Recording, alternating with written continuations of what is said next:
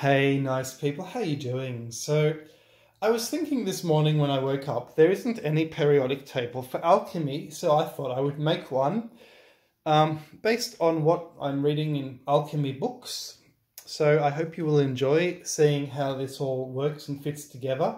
How would one go about making a periodic table of alchemy elements? Well, firstly, it wouldn't really be in periods. And uh, secondly, we're not talking about elements because in alchemy there can be no such thing as an element. Now, I'm releasing this video onto my regular channel for historical purposes so people can see how the uh, people who built pyramids actually envisaged the world because the people who built pyramids, I'm discovering, surely used this system. Um, it, it, is, it is a system which is actually based around pyramids as we're going to, to find out very quickly. Uh, firstly, I want to give you um, some just fundamentals about how it all works. So uh, how it works is this. So uh, basically, we're proceeding in terms of evolution of creation. And that's something you notice about alchemy. Chemistry, you can go backwards and forwards. Alchemy, you tend to move forwards from uh, what has been created into simpler substances because you're kind of doing the work of the creator and hence alchemy is seen as divine. So how alchemy works is this. And I've put what we could call chemical elements in cartouches, although you will see there can be no such thing as simple chemical elements, rather substances. So, let's get started. So, the waters of creation were the primordial first substance along with God. And the waters of creation are known as the philosophical basilisk, the abyssal water, or the feminine water. And what this is, is essentially the moon, or the female, the volatile, right? Um, think alcohol, think volatile chemicals. And that mixed, uh, and that's also known as the mercury, and that mixed with the word of God, or the vibration, or the slimy earth, which is the sulfur or the oil. And that is the male principle. And that mixed with a third principle, the, the salt, which is the body or the code or the crystal or the form. It's just an empty body without a soul. So what you have basically is the mercury or the volatile or the female or the chi, the energy, the ka in Egyptian, mixing with the sulfur, which is the oily substance, volatile and oily, the moon and the sun, the female and the male. This one is the, the male or the soul or the ba, and then the salt. The word salt and the word solid do seem to have a common origin and mean a similar thing. Uh, you can think, and we are looking at two words which sound very similar, sulfur and salt. It's, it's, they, they both have the root soul.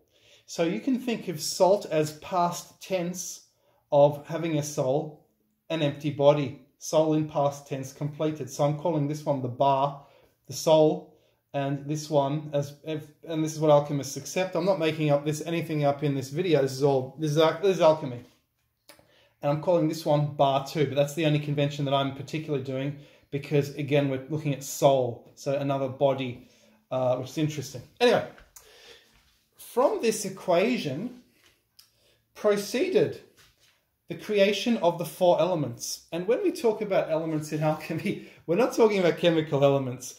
What happened is that the words in alchemy inspired chemistry.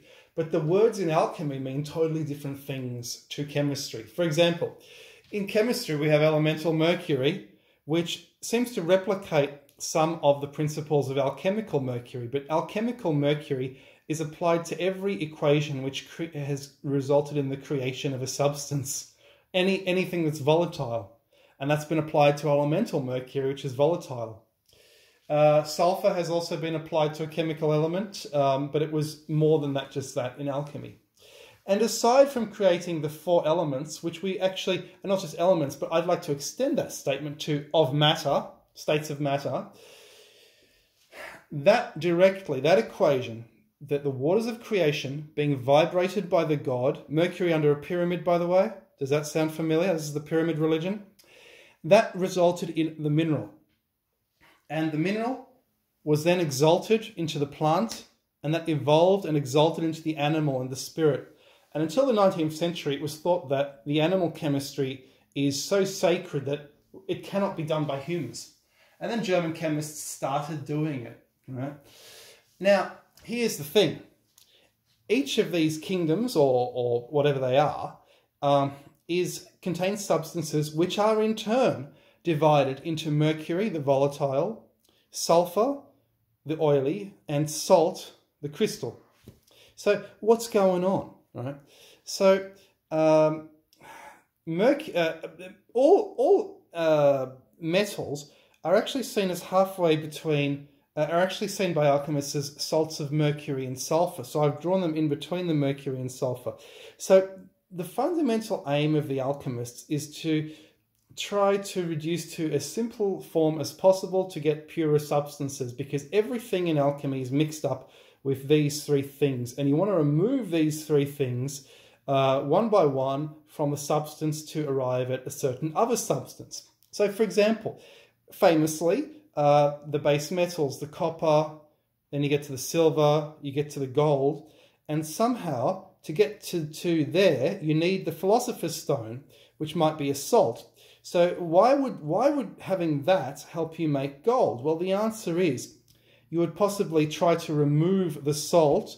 You would try to remove the salt from the, the silver or the other base metal mixture to get to gold. Um, then we have the, the, the oily mineral substances. So all acids are oily and eventually you get stronger and stronger till you get to aqua regia. So you want to go in this direction. You want to get to the substance you want by following the laws of nature. Um, uh, what is a salt? A salt is a crystal, it's a rock, uh, you can purify it into a crystal, it's ash, and eventually you get the philosopher's stone. And uh, what I've done, I've put a little bracket here showing that all the metals are all of these substances, mercury, sulfur, salt. All the acids are mercury, sulfur, salt. And all the crystals and salts are mercury, sulfur, salt. So, and, and what's happening is I've drawn arrows uh, because you, you want to change this into this. You might get rid of some sulfur. You might get rid of some, some metal. Uh, over here, I've written planetary classification because there's an additional classification where different planets control different metals. And uh, so you would go to the alchemy clock, see the clock video we made, and you would see what time you need to react a certain metal with another metal, what time of day, what time of month, etc., etc. Uh, it's almost like menstruation. So then we look at the plant kingdom, and what I'm reading uh, in the alchemy books is, uh, uh, uh, in particularly, a handbook of this handbook of plant alchemy um, from this. I think it's from '79, or this one's from '85. It's a very good book. Um, what is considered the, uh, the, the, the, the mercury of the plant kingdom is basically ethanol, the most volatile substance. What would some sulfurs be? Some sulfurs would be uh, plant acids like um, vinegar, tartaric acid. And then you can purify and, and get the volatile sulfurs, which are the essential oils, the very smelly ones. You keep uh, melting it down, you, will you'll, get rid of some volatiles, this arrow here, and you'll get to a fixed sulfur, which is a very oily resinous material. Or you can get rid of some salt. You can, you can, you can then burn that off, get rid of some salt, make a more pure substance. Then we get to the uh, this thing, which was not, I don't believe it was really covered by the alchemists, but fundamentally what we can do, the mercury of the animal might be the urea, but eventually the CO2 the, the product of animals, which is very light and volatile. Um, and then, uh, or methane, I don't know. And then sulfur. Uh, what is the sulfur of the animals? Well, it could be that the stearic acids, which make the soaps, the oily substances, uric acids, fats. And then we can see the animal also has crystals because uh, proteins can be crystalline, you can crystallize them, so it's the body. Um, so it's literally the body, which is what we saw up here, that the solid which is just a code by itself without the soul of the sulfur, which is the soul.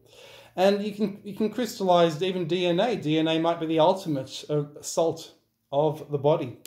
So, what have we learned from all this?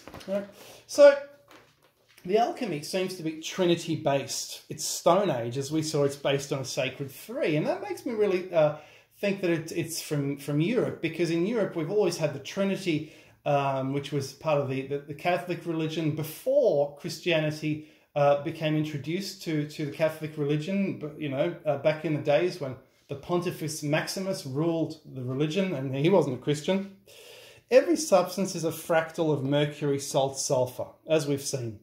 Little is pure or it would not exist. Hence, there can be no atoms or chemical elements. The alchemy table proceeds like a family tree in a forwards direction. Alchemy processes uh, are therefore assisting the forward work of the creator. The basic principle of alchemy it's not making gold as we've seen. It's male plus female plus form plus substance. Mercury, sulfur, salt equals substance. That's alchemy. And you're trying to split these off. And that's what you're trying to do to make new substances. And this was their conception of how it worked. Obviously, chemistry, far superior, a far greater understanding. But, you know, this is alchemy. This is their uh, conception. And now I want to introduce something else as a bit of a wild card, which is very interesting.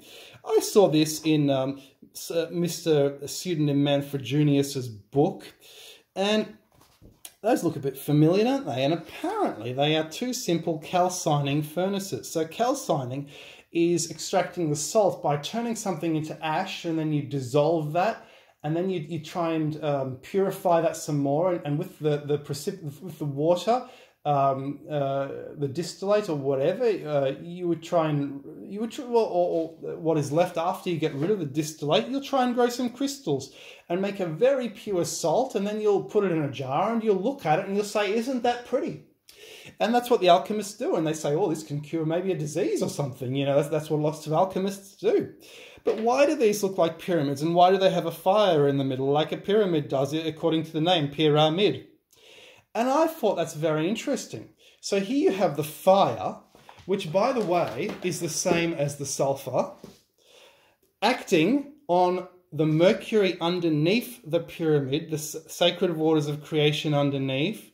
So do you see what the pyramid religion is? The pyramid religion, uh, something fell on the floor, is doing this equation to create and I was going to call my pyramid book Centering Creation because you're putting the center of creation in the middle of a country like the, the Giza pyramids. So you're doing an alchemical recipe, the waters of creation under a pyramid, mixing with the hand of God, which is vibrating those waters, shaking them, which is the pyramid on top, uh, the pyre, a pyramid is a pyre, and, and then the form. The form is the intellectual information inside the pyramid, such as the dimensions of the earth and you are creating a new world of fertility. And I reckon the alchemy, as you see, is fundamentally tied to the thinking responsible for the growth and development of the pyramid religion, which was extinct by the second millennium BC. Cheerio.